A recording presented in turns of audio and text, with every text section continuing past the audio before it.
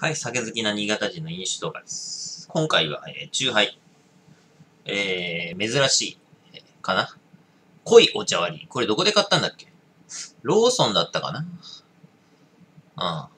うん。えー、宝酒造の、宝酒造、えー、宝焼酎の濃いお茶割りですね。以前確かただのお茶割りは飲んだんだけど、なんか薄くて、なんかまずかったっていう記憶があるんですけど、どうでしたっけね？あの、か、カテキン2倍、静岡産一番緑茶使用、え糖類、え糖質ゼロ、香料ゼロ、えアルコール度数4%、あ、低い。えカテキン2倍で渋くて、え濃い味わいが特徴の宝焼酎の緑茶割りです。お食事にまた、えーお風呂上がりに手軽にお楽しみいただけます。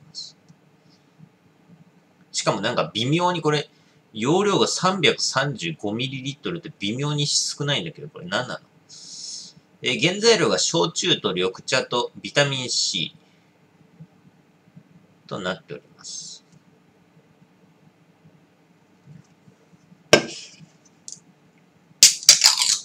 これやばいな。ちょっと今の時間帯にちょっと夜の11時なんですが、の、緑茶飲むとカフェインで眠れなくなるかもしれない。どうでしょう。乾杯。あ、うわうまあ、これうまい。んあ、これうまい。俺ね、ちなみにね、あの、多いお茶の濃い味。濃い多いお茶だっけあれが大好きなんですけど、あ、これうまいな。これうまいなって言うけど、ぶっちゃけて言うと、わざわざこれ、缶のさ、濃いお茶割りってさ、まあ、まあ言っちゃえばもう終わりなんだけど、あの、焼酎の、香類焼酎と、ね、普通に自分でさ、お茶買ってきてさ、割りゃいい話なんだけど。それ言うと、あの、全否定になるんで。酎ハイのほとんど全否定になるんで。やめときますけど。ああ、これうめえな。これうめえな。これ美味しい。渋い。ああ、渋さあるね。渋さがある。ああ、渋い。っていうほど渋くないけど、まあでも渋いか。ああ、ちゃんと苦さがあって、っていうより渋さがあって、ああ、これいいっすね。しかも香りがすごい。なんか緑茶の香りがものすごい出てる。本当に。めっちゃ出てる。この、緑茶の香りが、いい香りするわ。さすが静岡産一番茶。すごい。えっ、と、静岡産一番緑茶9%使用って書いてある。結構入ってんな。すごい、これ。香りがすっげえいい。あの、なんかすごい、なんだろう。香料も使ってないから。そんままなんやろね。うわ、すげえな。静岡さん、さすが静岡さんやな。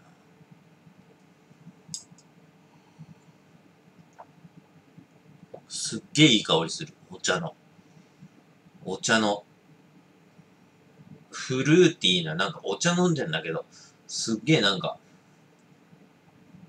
なんやろ。甘い香りっつうのかな。ふわーんとなんかすごい、花のような香りがする。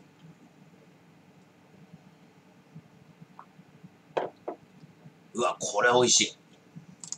まあ美味しいけど、まあアルコール度数4%っていうのはちょっと残念なところです。まあ6%ぐらい欲しかったかなと。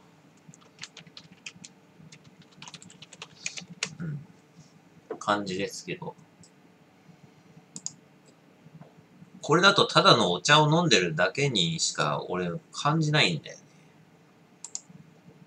本当に。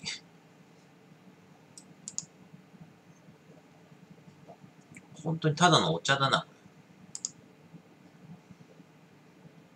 あ、9月27日新発売だって。あ、今日28日だから、もう発売して、あれや。もう発売したばっかや。えー、カテキン2倍、信頼の宝焼酎使用。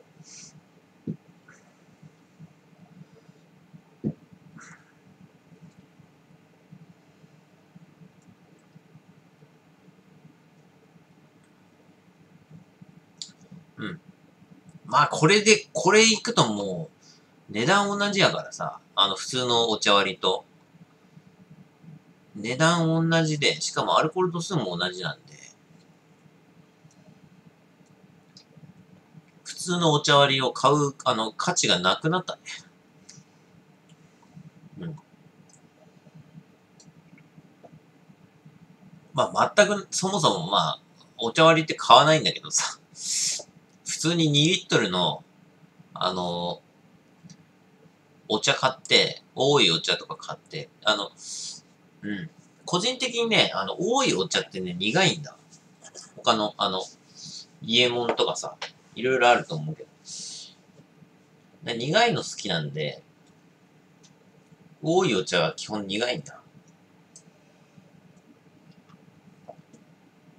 まあ、お茶割り飲みたかったら、普通に俺、焼酎買って、まあ、焼酎はそこら辺に常備してあるんでいいんですけど、普通に2リットルのお茶買って、飲むんで別にいいんですけど。だからそもそもこれ自体買う価値はないっていうか、俺の中で、あの、買う価値が一切ないんだけど。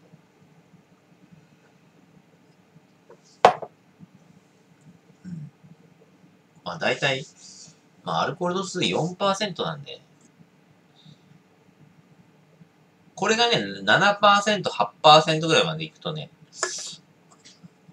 まあ買ってやるかってなるんだけど。これはもう買わないですね。買わないけど商品として、その単品で見ると、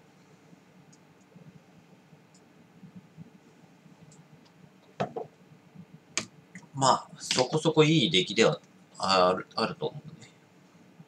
うん。コク、甘み。まあ、甘みは一切ない。甘みは一切ない。香りがすごい強い。香りがすごい強いっすね。まあ、四つ星にしてもいいんじゃないかな。